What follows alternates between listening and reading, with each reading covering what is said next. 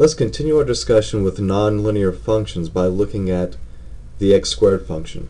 The squaring function is the guy that gives us our parabola. He's a super cool guy. Everybody likes him. He's always the first guy that you invite to your birthday party. Now, the basic shape that you have here is this parabola. Please keep in mind that it's a parabola. Its shape is parabolic. Now, this is the right way to do that, not this. It does not curve back onto itself. Don't ever do that. Also, do not do this. Comes out, do not make him go vertical. If you make this guy go vertical, then he's not a function. Remember, functions have to pass the vertical line test, and this guy definitely would not. So you graph like this, and you're going to get something like this back. So be careful.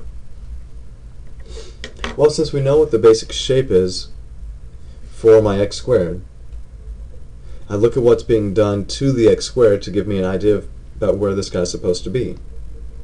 If I look at the end, just like we've seen with all the other nonlinear functions, this number out here outside of the squaring part tells you how to move up or down.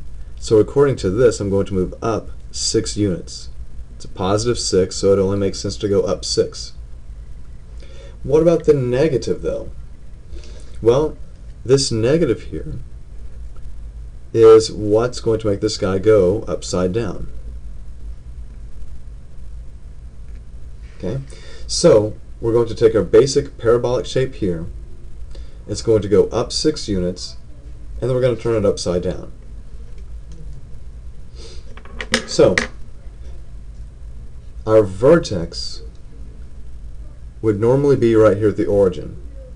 But according to what I've done here, I'm going to take this and I'm going to move it up six units to be right here.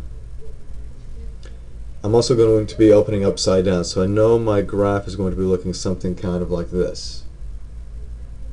But I want to make sure that we have nice, clear, accurate points. Since this is a parabola, it's a lot like the absolute value in that it's got this axis of symmetry running right through the vertex. So whatever I do on this side I'm going to mirror that on the other side. Now, since we have the squaring function, we just follow the rule for squaring. If I go out one unit from the vertex, I would square that, and I would go down one. If I go out two from the vertex, remember it's from the vertex. Two from the vertex, squared is four. Three from the vertex is nine, so I'm going to go down nine.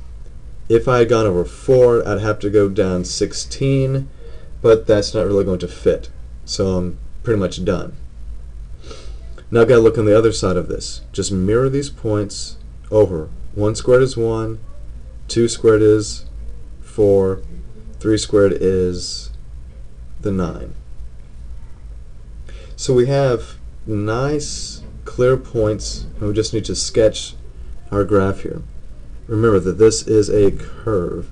It should be nice and smooth. It looks something like this. Now you know that it's not supposed to go over and touch this line yet because if it did, you would have gotten that nice clear point by going over 4 and down 16. We're not quite there yet. So we're going to do the same thing on the other side. Remember, this does not curve back on itself. It does not go straight up and down, but has this nice curve to it. This guy is always going to get wider and wider and wider as you go down. Okay? And there you have it. Basic parabolic shape. It's been turned upside down and we've gone up six units.